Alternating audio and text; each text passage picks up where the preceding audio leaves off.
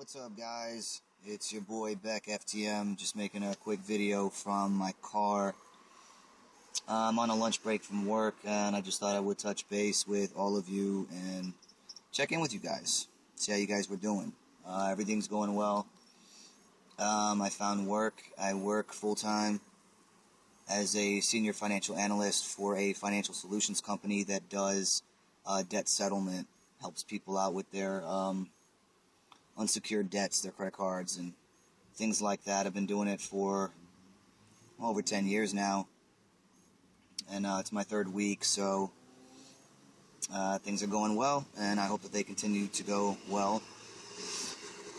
I wanted to make a video um, because I see so many of my brothers out there, uh, you know, posting things on their Facebook and whatnot about, you know, girls or guys, whatever your preference is, doing you wrong, uh, you know, doing you dirty. You don't know where to turn. Some of you are pre-T. You're worried about transitioning because you don't know if anyone is going to, uh, you know, want to date you and everything because you're trans.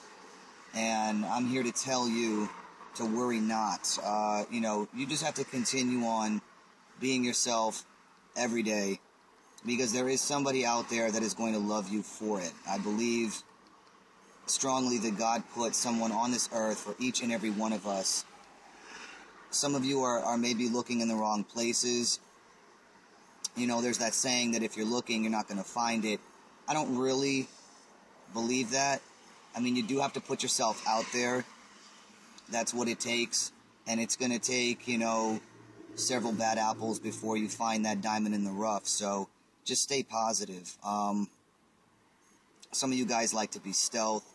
You meet someone, you don't tell them that you're trans, and then you're hitting a, a point where you have to come out to them. There's no right or wrong way to do that. You just got to do it, uh, you know. And if that person is open-minded and they really like you or love you for you, then they're going to be there for the long haul. If they're not there for the long haul, deuces. You know what I mean? Um, there's too many people out there for you guys to be for you guys to be messing around with people breaking your hearts. Uh, you carry on with your transitions because it's about you. It's not about anybody else. For you people out there who are dating people that are not supportive of your transitions and your your pre-T and everything, you know, um, I hope that your relationships can last throughout your transition. You may want to rethink about the relationship that you have because at some point the individual that you're dating may not be okay with that. And again, it's about you. It is a selfish time. It is okay to be selfish. Um, talk to your partners about it. See how they feel see if they're willing to go to, you know, therapy with you, see where they're at in their minds, be patient, just like with your families, you know, when you're coming out, uh, be very patient. It takes people longer than others, and some people don't come around ever. You have to be willing to accept that, but you have to be happy. All right. Um, as for myself, I am single. Uh, you guys have seen my visit with Brandon Teena video, and um, the woman in that video was my ex-girlfriend. She's now my bestie. So we're very fortunate that that relationship relationship took a turn for a positive note. Um, but I am single. Uh, am I wanting to date anybody right now? I mean, I'm not looking to, to get into a long-term relationship at the moment, but I can't put a time frame on love. You just can't. When it comes along, it comes along.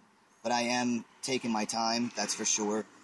Um, so, yeah, I mean, I, am talking to someone, I'm getting to know them. Uh, it's going to take a while, it takes a long time to get to know someone, and I'm not trying to rush into anything. But I happen to find someone um, on a chat, and um, she's very supportive of my uh, transition, so that's good. Um, the way I date really is online dating. I don't do clubs, bars, scene, and things like that because I don't just walk up to people. I, I still go to LGBT establishments because that's where I feel comfortable. I'll go with, uh, you know, my sister to a heterosexual place. uh, if a female were to walk up to me or whatever, because I'm pretty shy in, in person. I mean, I just won't. Hey, you want me to buy you a drink? I, I don't do that. But uh, you know, if it if it came up, you know, I would chill with the girl for the night at the club, hang out, have a good time. But before we met a second time, if we exchanged numbers, I would have to let her know what my situation is. Uh, she's cool with it or she's not. Oh well. um, but I just I don't want to see my brothers getting heartbroken, thinking that no one no one out there is going to love them uh, because of their transitions, because that is just so far from the truth. I know that you guys are having, or some of you guys are having a hard time finding women. Um, you know, there are online dating services if you feel comfortable doing that. There is, you know, OKCupid, which is free. Uh, there is plentyoffish.com, which, I mean, it's hit or miss to find someone who's actually looking for a relationship on there. They're usually looking for like flings and stuff, and I'm not really about that, so, you know, I keep it moving. But, uh, um, I'm on Downlink. Downlink is kind of like Facebook. Uh, the majority of the Downlink members are um, African American, uh, Latina. Uh, there are some Italians on there. You know, I, I don't use it for, for the personals. I use it for the chat room. I have seen some other trans buddies in there pop in, so we talk, and that's cool. Um, but I just want you guys to know to keep your heads up and to do this transition for you. Keep pressing on with your transitions. You will find someone. Don't stop looking. Don't look too hard. But know that if you continue to be you, there's going to be somebody out there that is a match for you. So just wanted to come at you guys with a quick video. I have to go back into work, so I'll talk to you guys later. Thanks so much.